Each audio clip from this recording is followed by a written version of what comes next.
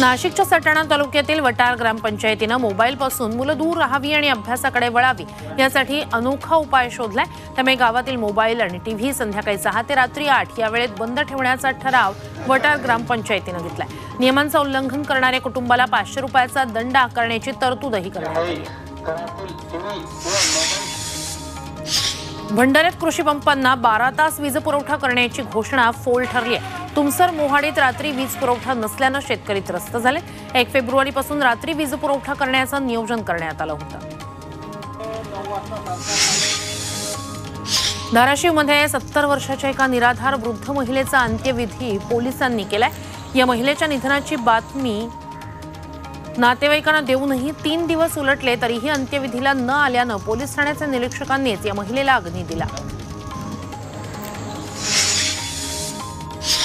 धाराशिव जिल्ह्यात पोलीस गुडघेदुखी कंबरदुखीचा त्रास होता. अमृत नोनी आर्थो प्लस घेतल्यापासून पाठदुखी गुडघेदुखी सांधेदुखी बंद झालेला आहे. आरोग्याचा भरोसा अमृत नोनी ऑर्थो प्लस पोलिसांनी अवैध गुटखा साठ्यांवर कारवाई केली आहे. शहरातील सहा ठिकाणी छापे मारत सोळा लाख रुपयांचा मुद्देमाल जप्त केलाय. या प्रकरणी आठ जणांविरोधात पोलिसांनी गुन्हे दाखल केले.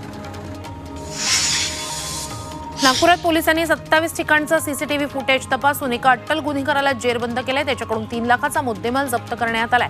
या चोरट्यानं सात घरफोड्या केल्यात आणि वाहनंही चोरली आहेत.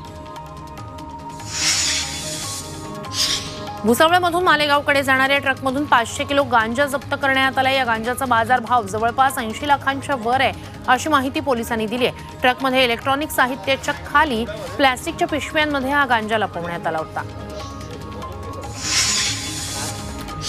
बांदीपुरा जिल्ह्यातील गुरेज गावाला हिमवृष्टीचा तडाखा बसला हिमकडा तुटल्यानं इथल्या दोन महिला यात अडकल्या होत्या. रेस्क्यू टीमनं या दोन महिलांची सुखरूप सुटका केली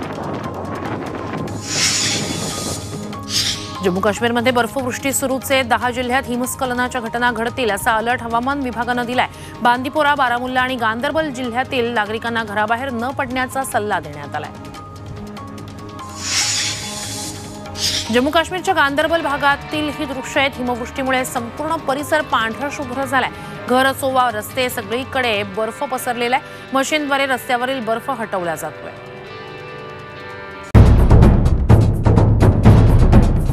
सह्याद्रीची उंची म्हणजे